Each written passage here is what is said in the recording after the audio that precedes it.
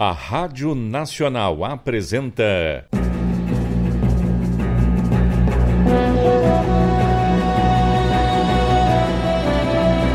A Corrida do Ouro. Uma novela original de Rodrigues Aguiar.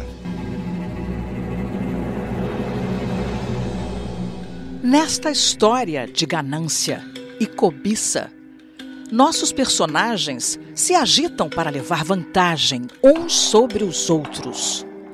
Será que o triunfo caberá aos bons ou aos maus?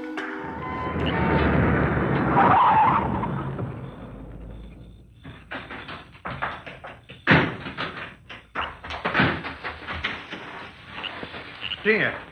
Quem está aí? Ah, é você? Mas o que faz aqui esta história? Que é isso? Pra que esse revólver? Não, não, não, não, não faça isso! Não!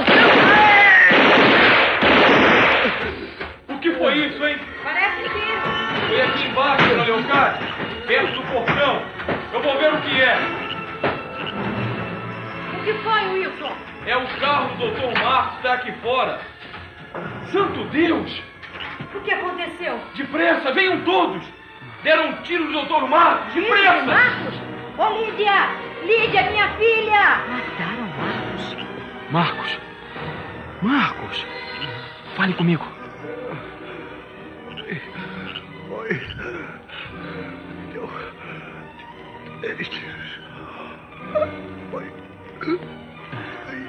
Quem mexe com muitas pedras. Sabe quem foi? Marcos! O que, que foi? O que foi? Santo Deus! Fale. Deus! Fale, Marcos. Fale. Estava ali. Ali. Meu Deus, Marcos! Foi. Marcos! Foi. Santo Deus! Quem foi que fez isso? Fale, Marcos, fale! Foi. Marcos! Está morto. Meu Deus! O que está acontecendo aí fora? Deram tiros em Marcos. Meu Deus do céu! Atiraram em Marcos? Sim, Marcos está morto. E agora? O que é que nós vamos fazer? É verdade mesmo. Mataram o Marcos. Olhe só, João Paulo, olhe. Veja o que fizeram com meu marido, veja. É. Que não se pode fazer mais nada. A não ser chamar a polícia. A polícia, tia É Leocádia. claro, Lídia. Mataram seu marido a tiros. Isso é um caso para a polícia resolver. Eu vou ligar. Não mexo em nada. Deixa o corpo como está. Ai, meu Deus. Bem, eu ouvi o barulho do carro chegando, mas nem abri a janela do meu quarto. É verdade mesmo? Mataram um moço? Ele está morto, Marta.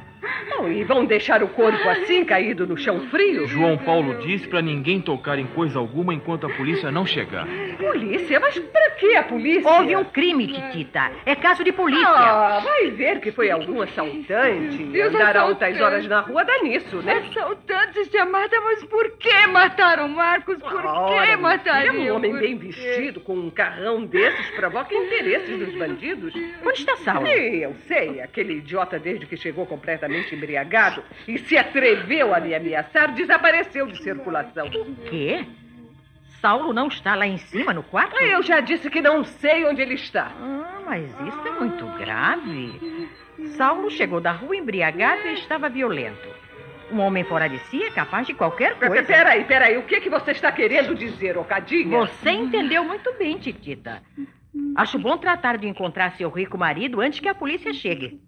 Ele vai ter que explicar muito direitinho por onde andava e o que esteve fazendo. Você está querendo insinuar que foi Saulo que... Só que- pode ser, só pode ser. Todas as outras pessoas estavam dentro de casa dormindo. Somente Saulo é que não. Portanto, para bom entendedor, Ah, mas filha- acontece que Raquel também não deu sinal de vida. Ah, é que me importa, Raquel. Ah, pois devia importar. Eu sei algumas coisas a respeito dela e de Mar. Me calha a boca, tia Marta! Ei, Lídia, que que há? Eu não admito que você... Eu também não sozinha. admito que a senhora queira manchar o nome do meu marido depois de morto. Se disser uma Ah, tá, palavra... tá bem, está bem, tá bem. Eu volto pro meu quarto. Mas a verdade eu aguardo comigo. Agora, talvez a polícia se interesse por ela. Eu não vou mentir à polícia para salvar as aparências. Ora, o que foi que ela quis dizer com isso? Não sei, não sei. Certamente mais alguma de suas mentiras. Tia Marta não se sente feliz a não ser quando está aborrecendo os outros. Bom, eu acho bom irem para dentro, né? Eu fico aqui até a polícia chegar. Vamos, Lídia, vamos. Você está precisando de um bom calmante. Vamos lá para dentro aguardar a chegada da polícia. Venha comigo, minha filha, venha. Tia Leocádia, por quê? Por quê? Ah, Venha comigo, filha. Vamos para dentro. Assim acabam os canalhas da sua marca, Marcos, com a boca cheia de formigas. Hã? Quem é? Sou eu. Sou eu. Ele. Ele está mesmo. Se está morto? Completamente. Este não vai mais causar mal a ninguém. Não fale assim, Wilson. Respeite a morte. Ah, se o morto fosse gente, vá lá. Mas isso aí nunca valeu coisa alguma. Teve o que merecia. E foi bem feito. Canalha. A polícia. Bom, eu acho bom que você vá para o seu quarto. Não convém pegar a polícia assim de cara. Vá embora. Tá, tá, eu vou, eu vou.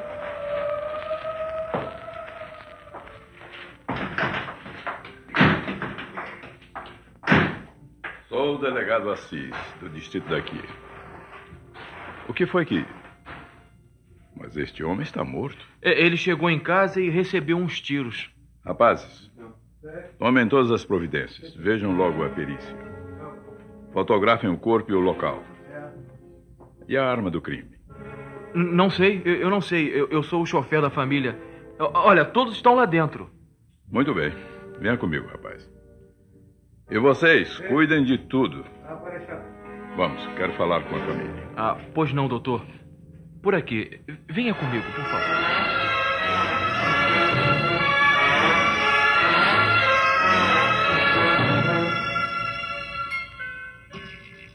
Lamento dizer que foi um crime, a meu ver, premeditado. Premeditado, doutor? Ao que tudo indica, sim. O criminoso deu três tiros, quando um só seria o bastante para acabar com a vítima. Dizia que a pessoa estava movida por um grande ódio contra a vítima. Quem é o rapaz morto? Marcos Frederico Olivais, marido de minha prima, a dona desta casa. Ah, e quem é a mulher do morto? Sou eu, doutor.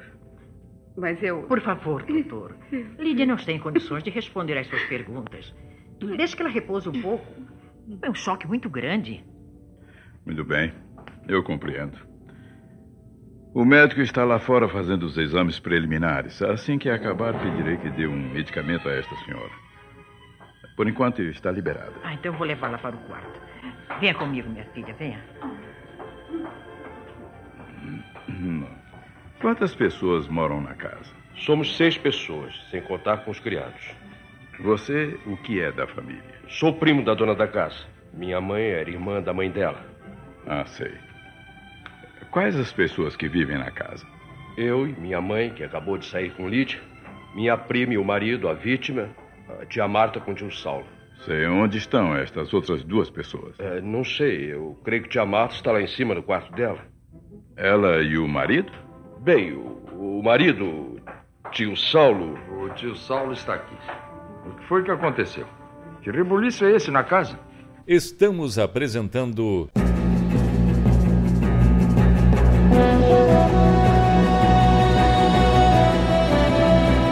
A Corrida do Ouro. Uma novela original de Rodrigues Aguiar.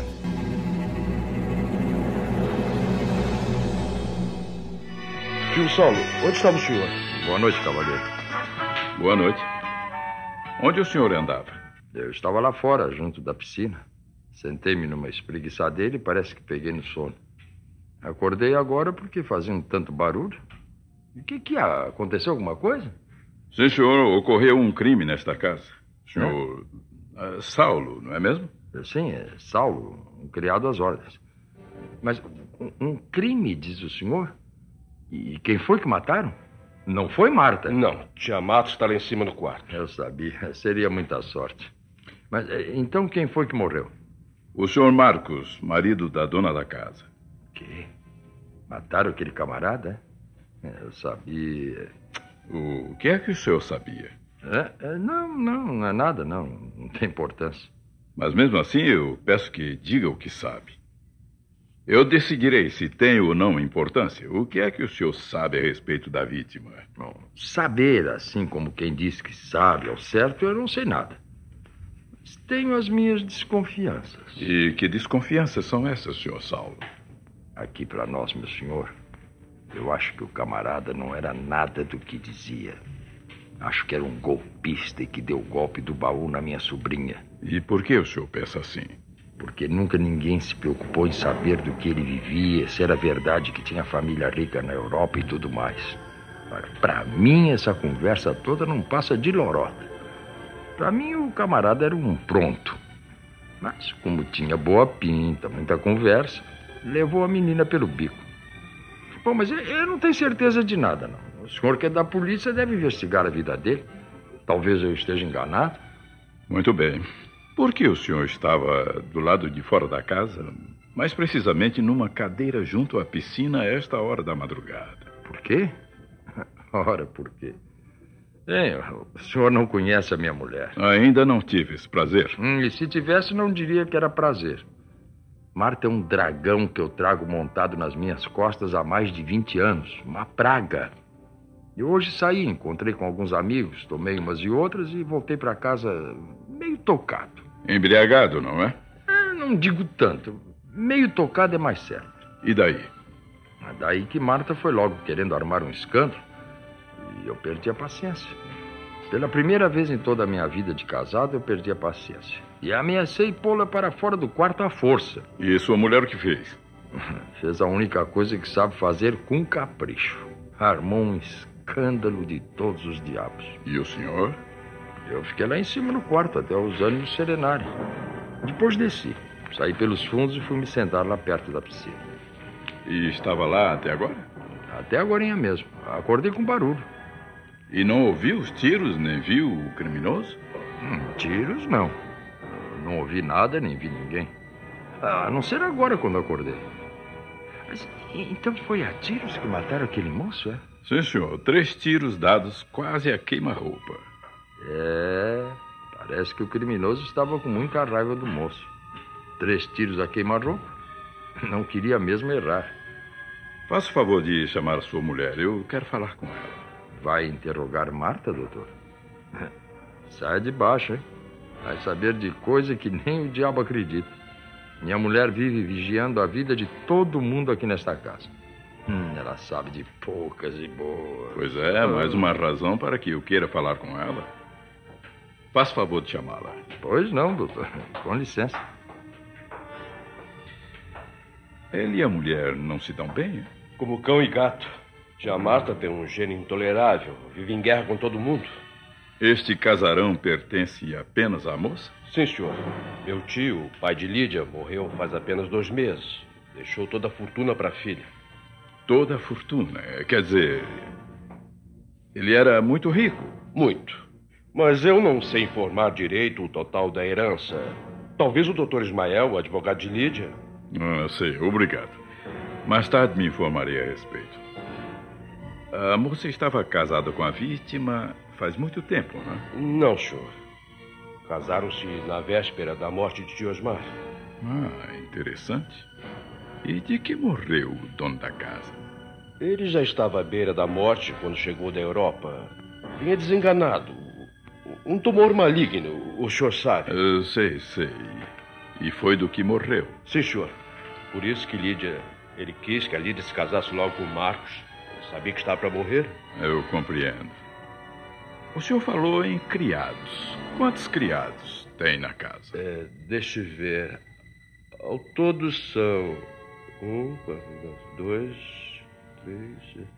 Ao todo sete. Sete empregados? E todos dormem aqui? Não, senhor. Aqui só dormem a roubadeira Raquel e o chofer Wilson. Ah, o chofer é aquele rapaz que encontrei junto do corpo, não é? Ele mesmo. E os outros criados? Mora aqui por perto e por isso não dorme no serviço. São a cozinheira e sua ajudante, o copeiro e o jardineiro. Eles só chegam amanhã de manhã. Então, estão fora de suspeita estes. Quer dizer que o senhor suspeita de alguém da casa? Por enquanto, eu suspeito de todo mundo. Um crime assim, a, a dona da casa muito rica. E, E isso está me cheirando a vingança. Conhece alguém que tivesse motivos para desejar a morte do marido de sua prima? Bem, doutor, eu, para falar a verdade. Ah, diga a verdade, João Paulo. Você não conhece outra coisa, não é? Tia Marta. Ah, boa noite, delegado. Boa noite. O meu marido disse que o senhor queria falar comigo. Uh, sim, senhora, madame. Meu nome é Assis, delegado Assis. Ah, eu me chamo Marta. Marta Pinto Siqueira da Silva. Ah. Da Silva é do meu marido, aquele inútil. Uh, sei. Uh, parece que a senhora sabe alguma coisa comprometedora a respeito da vítima, pelo seu modo de falar. Se sei. o senhor está falando com a pessoa certa, doutor. Eu sei tudo, ou quase tudo, a respeito daquele facílora que se casou com minha sobrinha por causa do dinheiro dela. Tia Marta, por favor. E não me aborreça, não, menino. Eu sei de muita coisa e terei o maior prazer em contar ao senhor, pelo miudinho, tudo quanto sei, doutor delegado. Muitas histórias se cruzam nesta corrida atrás do dinheiro. Quem irá se dar bem? Quem irá se dar mal? Acompanhe para descobrir quem será o vencedor da Corrida do Ouro. A Rádio Nacional apresentou.